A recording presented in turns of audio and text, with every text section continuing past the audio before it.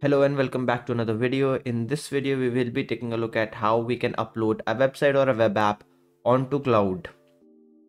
In this video, I will be using Oracle Cloud Infrastructure, but the process is same for AWS or GCP or any other cloud provider. So I will be using three pieces of software. First PuTTY, second PuTTY Gen and the third one WinSCP. So the PuTTY we will be using for an SSH connection and PuTTY Gen for converting the key which we get from the cloud into a format that PuTTY likes and finally WinSCP to transfer files.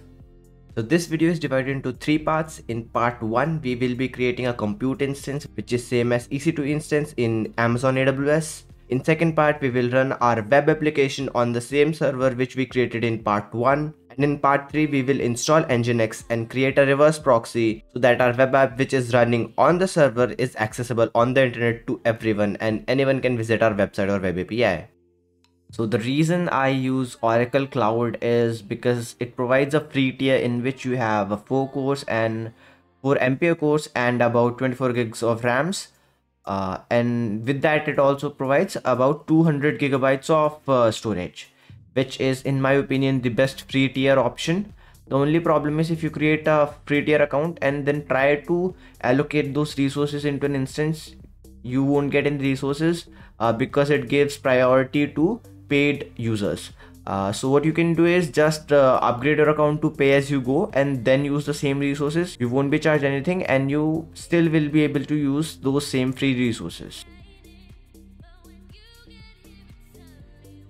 okay let's start off by creating a compute instance.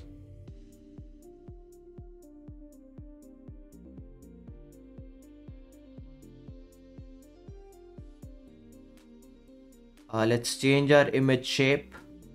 We want an ubuntu and uh, for uh, shape we will take ampere cores uh, let's take 2 ampere cores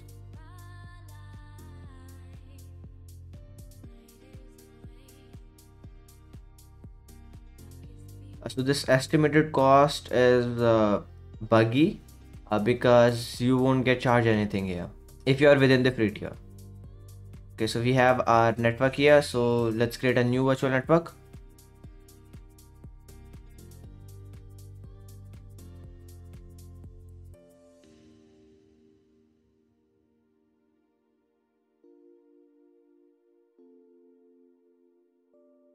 So for CIDR, you can check out this website. This helps to map out your network.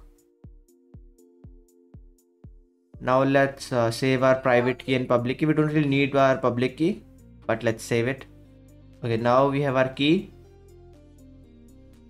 Finally, we will be using uh, in-transit encryption. Let's create our instance now.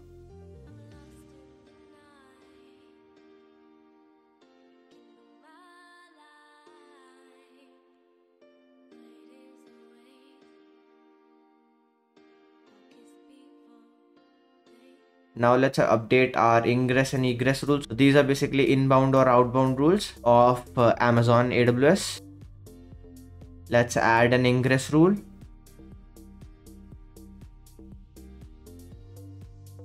Uh, we will allow port 80 here.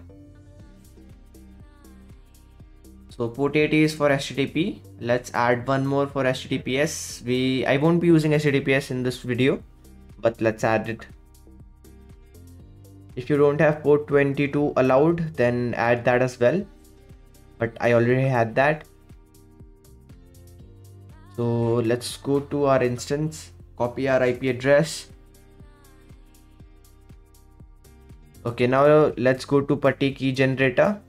Here we'll select our uh, we'll load a private key and select uh, the key which we downloaded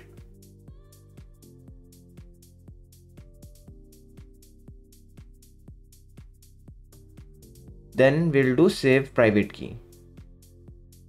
This will basically convert that key into a ppk file. Now we can use that ppk file to connect to this uh, instance. So here we'll do our user which is ubuntu at our ip uh, this is slightly different in aws then we select our uh, private key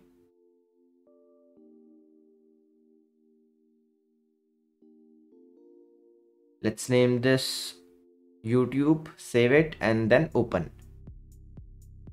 Accept the connection and we are connected to our instance. So my web API is in Rust, but if you want to deploy, let's say Node, then you can install Node instead of Rust or with PM2 and then uh, use that to run your project. Or let's say if your application is in Flask, then you can install Python and uh, Gunicorn to run it. In this part, our aim is to just run the application on a certain port on our local host. So my current web API I will be running it on localhost 3000 and in part 3 I will create a reverse proxy to make it public. First, let's update all our packages. So sudo apt get update and sudo apt upgrade. After that, we'll install Rust. I will be deploying my Rust API, which I created in earlier videos.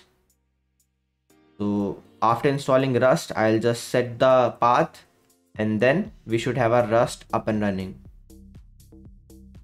Uh, I'll also install this uh, build essentials. Without this, uh, the Rust will give me linker errors. Next, I'm installing Postgres. You can use any other database as well, uh, SQL, Mongo.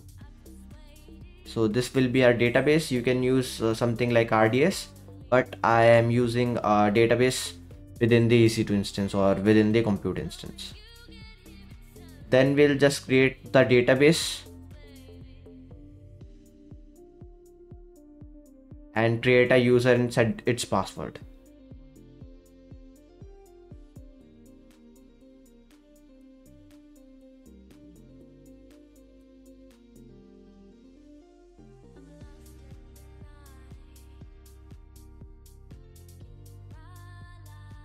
Finally, let's grant all the privileges to our user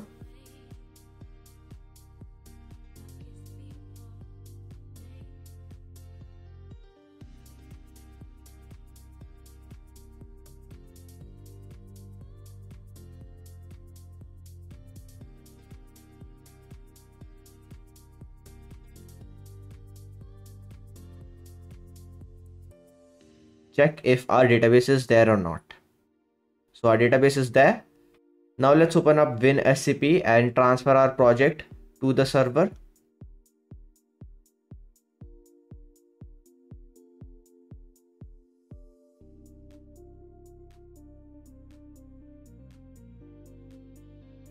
So in WinSCP, you can just go to tools and import size and import all the sites that are there saved inside our putty. Now let's open up a connection to our YouTube instance.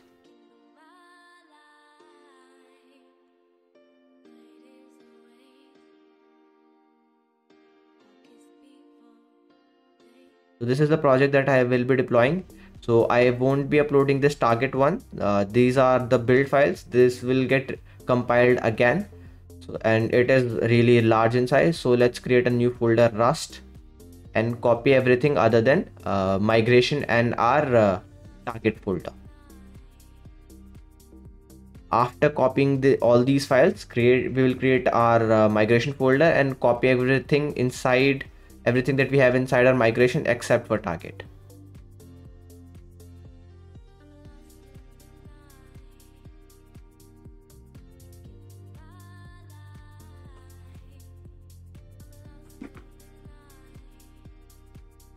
oh so here instead of car cargo.toml i copied cargo lock so let's remove cargo lock.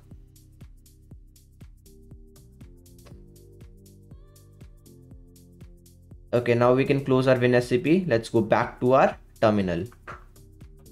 Here we have our uh, rust folder showing up. So let's cd into it and uh, update our .env file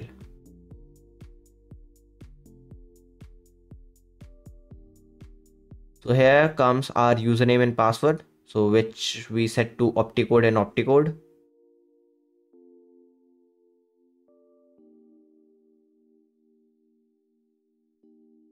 And finally at the end we'll update our database name. Let's save it and then we can and then we can do cargo run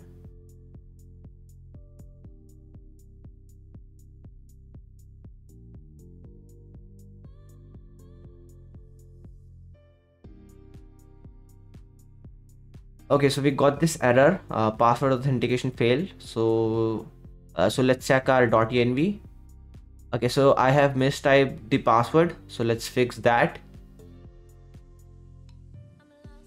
Also let's change the uh, database name. Uh, keep it all in small case. After fixing that uh, I reran the command cargo run re release and uh, it worked just fine then we'll do control Z to stop it and then we'll do BG to send the process to the background. Now our uh, cargo run is in the background and uh, we can close this terminal also without any problems.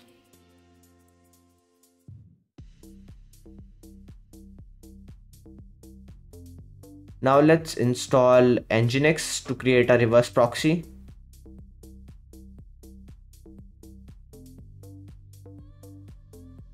now we need to create a file inside our uh, sites available. So you can just copy paste this uh, command which i'm showing. So inside uh, sites available uh, if you are uh, trying if you have a domain then you can use your domain. Otherwise just use default. So i will be deploying it using a domain. So i'll put my domain here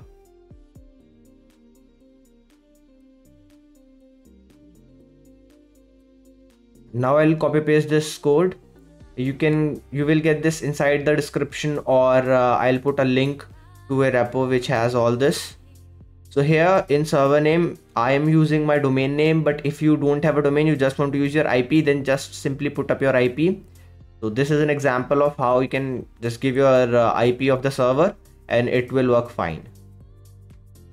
Uh, also in uh, proxy pass uh, we have the location where our website is running on our local machine. So localhost 3000 is where my Axum project was running on. Okay, after that we'll create a symlink. So just copy paste this. This will create a symlink uh, to sites enabled. Finally, we'll restart our Nginx and let's check our status. If this status is active and running, which means everything is fine, but if it is not, then probably you messed up in some part of this video and you might need to check it again. Now one more thing uh, I have to update this IP table for port 80 otherwise it won't work. Uh, but if you are on AWS you probably don't need to do this but you might need to uh, allow port 80 in your firewall. Use you can use UFW uh, allow HTTP for that now let's go to cloudflare. I have my uh, dns set in cloudflare. I'll set my ip of the server. And after about an hour it should work.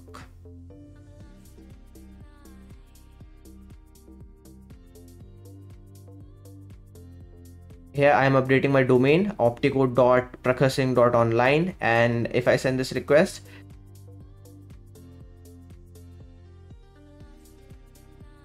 you can see I'm getting an error but this is a custom error which I created in that in that web API. So so everything is working fine and our uh, web API has been deployed successfully. So that's all for this video. In the description there's a link to my discord. If you have any troubles you can hit me up there. And please give a thumbs up if you like this video and do subscribe